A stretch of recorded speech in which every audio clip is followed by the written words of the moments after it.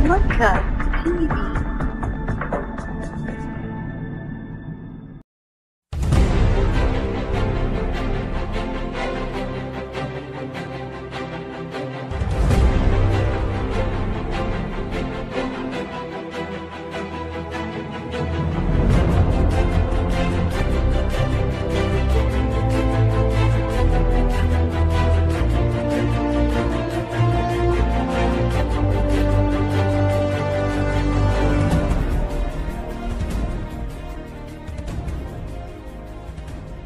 Safar shaqo oo qaadanaya muddo laba maalmood ah ayaa madaxweynaha jamhuuriyadda federaalk soomaaliya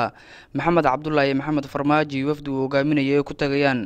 dalka boqortooyada sacuudi arabiya halkaasoo kulamo uu kula qaadan doono boqorka sacuudiga salmaan bin cabdicasiis iyo dhaxal sugaha boqortooyada maxamed bin salmaan wasiirka warfaafinta dhaqanka iyo dalxiiska mudane cabdiraxmaan cumar yariisow ayaa ka warbixiyey safarka madaxweynaha waxaana uu sheegay in safarkan shaqe madaxweynaha uu daba socdo safaradii hore uu ku tegay dalkaas kuwaasoo lagu xoojinayo dhaqaalaha amniga iyo maalgashiga.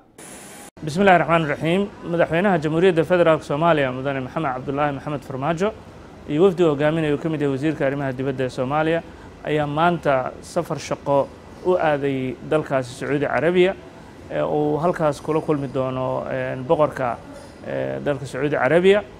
boqor salmaan bin cabdilcasiis booqashadan labada casho waa mid shaqo oo daba joogta. Booqashooyinkii hore madaxweynaha u tegay dalkaas. Sacuudiga iyo soomaaliyana xiriir qoto dheer ayaa ka dhexeeya madaxweynaha jamhuuriyadda federaalk soomaaliyana wuxuu kala hadli doonaa sidii loo dardargelin lahaa heshiisyadii hore loo gaaray iyo ballanqaadyadii oo ay ka mid tahay sidii soomaaliya looga saacidi lahaa dhanka dhaqaalaha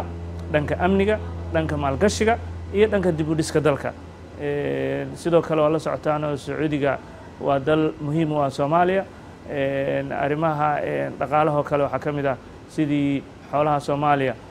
halkaas loogu beecgeyn lahaa iyo sidii danaha labada dal ka dhexeeya la ysaga kaashan lahaa. Marka waa booqasho laba maalin ah madaxweynaha jamhuuriyaddan wuxuu soo laaban doonaa muddo laba casho gudahooda safarkan waxaa ku weheliya madaxweynaha jamhuuriyadda federaalk ee soomaaliya.